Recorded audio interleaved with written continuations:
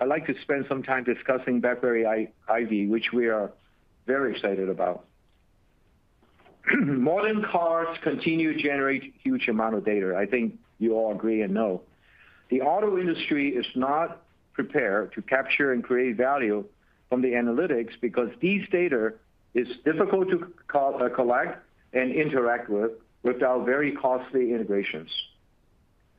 BlackBerry IVY's mission is to make it easy to gather, securely transport, and analyze these data in a standard and a cost-efficient way across multiple brands and models on a common platform. This will allow the developers ecosystem to use the data to provide intelligent insights and application on a global scale. We have entered into a multi-year exclusive co-development and co-marketing agreement with AWS. This type of agreement is rare. BlackBerry and AWS engineers have been working very closely to jointly build the platform. Under the terms of our agreement, BlackBerry will own all the commercial relationships with customers and will share revenues with AWS. Each side contributes the key capabilities required. On the BlackBerry side, BlackBerry QNX brings over 20 years of auto industry experience, as well as relationship, as well as a huge footprint of over 175 million cars.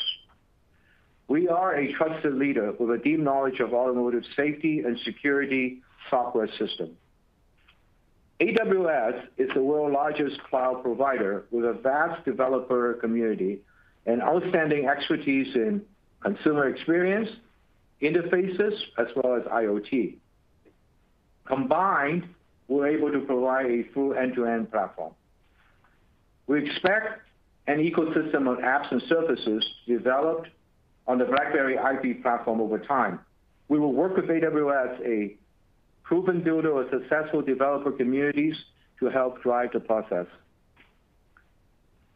With BlackBerry IVY, we're creating a recurring revenue data business, recurring revenue model, that is, targeting revenue on a usage as well as a subscription base.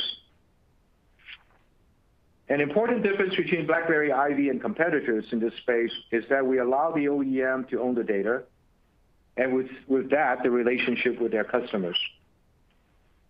We are already in discussion with some automakers who were granted early access, and we have received positive initial feedback. The target is to be in the 2023 auto models or 2023 years model, with possibly, potentially some professional services prior to it. While it is too early for us to provide a revenue outlook, we are confident that BlackBerry IVY addresses a very large market opportunity that will greatly increase our ASP. With that, let me turn the call over to Steve to provide more details about our financial performance.